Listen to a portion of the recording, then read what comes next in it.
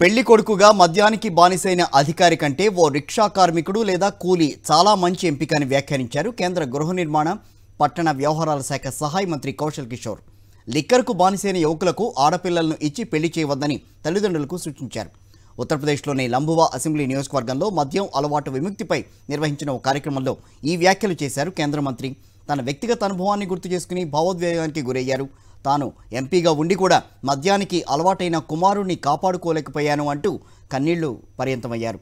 తన కోడలు ఒంటరిగా మిగిలిపోయిందని అన్నారు మీ అక్కా చెల్లెళ్ళు కూతుళ్ళకు ఈ దుస్థితి రానివద్దని సూచించారు కేంద్ర మంత్రి కౌశల్ కిషోర్. పెళ్ళి కొడుకుగా మద్యానికి బానిసైన అధికారి కంటే ఓ రిక్షా కార్మికుడు లేదా కూలీ చాలా మంచి ఎంపిక అని వ్యాఖ్యానించారు కేంద్ర గృహ నిర్మాణ పట్టణ వ్యవహారాల శాఖ సహాయ మంత్రి కౌశల్ కిషోర్. లిక్కర్కు బానిసైన యువకులకు ఆడపిల్లలను ఇచ్చి పెళ్ళి చేయవద్దని తల్లిదండ్రులకు సూచించారు. ఉత్తరప్రదేశ్లోని లంబువా అసెంబ్లీ నియోజకవర్గంలో మద్యం అలవాటు విముక్తిపై నిర్వహించిన ఓ కార్యక్రమంలో ఈ వ్యాఖ్యలు చేశారు కేంద్ర మంత్రి. తన వ్యక్తిగత అనుభవాన్ని గుర్తు చేసుకుని భావోద్వేగానికి గురయ్యారు.